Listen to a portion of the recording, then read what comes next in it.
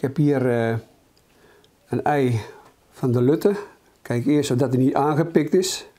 Nee, is niet aangepikt. Ik, uh, ik laat hem nu voorzichtig in lauw water hangen. En dan laat hem zo dobberen.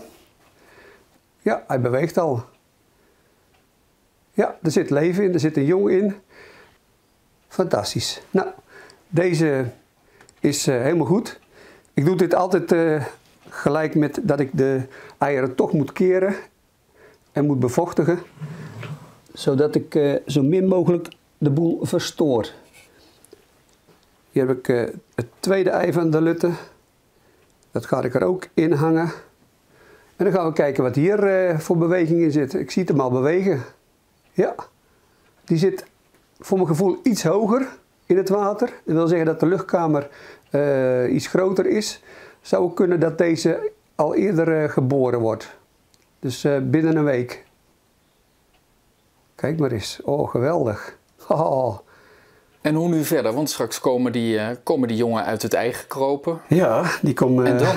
Ja, dan, dan gaan we ze met de hand groot brengen. Ehm, we knippen kleine stukjes kuiken van de, de, de, haantjes van de legbatterijen, zeg maar. Die, uh, die hebben wij als voedsel. En die, uh, die worden door onze kleine stukjes geknipt om ze zo uh, aan, het, aan, aan de kuikens te, te voeren, aan de ooievaartjes. Gefeliciteerd. Ja, ik ben er heel blij mee. Je wil niet weten hoe, hoe trots ik ben op, op deze actie. Het is echt zo, zo goed verlopen. Aan alle kanten geslaagd? Ja, ja, ja, ja, zeker wel. Over ongeveer een week? Beschuit met muisjes? Jazeker. En ik weet nog niet welke kleur dat het wordt. Uh, roze of, uh, of blauw, maar ik denk dat ik het maar mixt. Dat vertelt het water niet. Het is niet nee. dat ze linksom dansen als de mannetjes of zo. Nee, tenminste, dat is mij nog niet bekend. Geweldig, hè? Ja, ik ben er ontzettend blij mee. Dat is uh, zo'n groot succes. Dat, ja. Ik, ik, heb er zin in om ze, ze straks uit het ei te zien komen. Ik kan niet wachten.